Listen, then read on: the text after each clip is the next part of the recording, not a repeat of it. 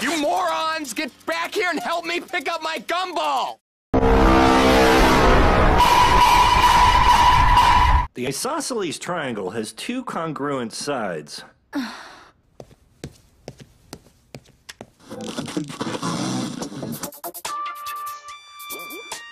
Shake it, bake it, booty, quake it. That's right. Roll it around, don't fake it. Don't, don't, don't, don't, don't, don't. Shake it, bake it, booty, quake it. Shake it, bake it, booty, quake it. Roll it around, don't fake Look at these uh, big ones. Ah, ratatatata.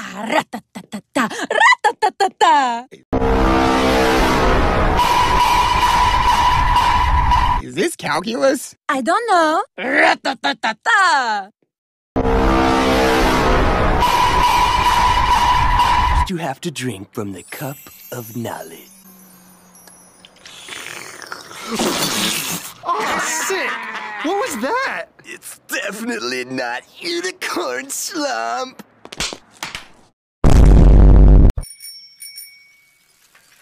Hey, Mordecai!